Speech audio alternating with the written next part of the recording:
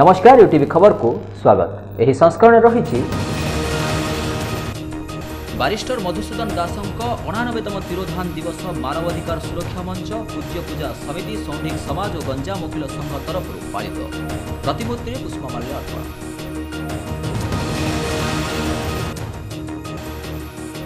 ବିଶ୍ୱ କର୍କଟ ଦିବସରେ କ୍ରାନ୍ତି ଅନୁଷ୍ଠାନ ତରଫରୁ ଖଲିକୋଟ କଲେଜ ଛକ ନିକଟରୁ ତମାଖୁ ବର୍ଜନ ସ୍ଲୋଗାନ ଦେଇ ସଚେତନତା ରାଲି ଆୟୋଜିତ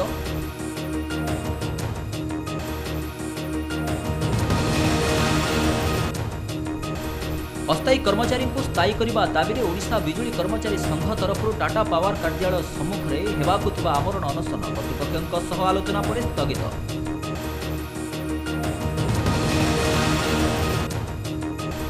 ରାଜ୍ୟରେ କରୋନା ମୃତ୍ୟୁ ସଂଖ୍ୟା ବୃଦ୍ଧି ସଂକ୍ରମଣ ସଂଖ୍ୟା ହ୍ରାସ ଗୋଟିଏ ଦିନରେ ଦୁଇ ହଜାର ଛଅଶହ ସତାନବେ ଜଣ ଗଞ୍ଜାମ ଜିଲ୍ଲାରୁ ମାତ୍ର ଷୋହଳ ଜଣ ପଜିଟିଭ୍ ଚିହ୍ନଟ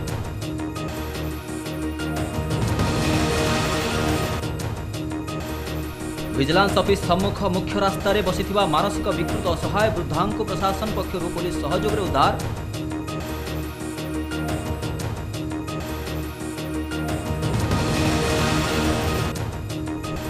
रूप दिवस उपलक्षे खास्पा साई श्री बाजवी कन्या परमेश देवी मंदिर में स्वतंत्र पूजार्चना आयोजित লিডস ক্রিকেট একাডেমি পক্ষ একাডেমি কপ ক্রিকেট টুর্নামেন্ট উদযাপিত আলফা স্পোর্টিং ক্লব চ্যাম্পিয়ন ও Leeds cricket academy runners up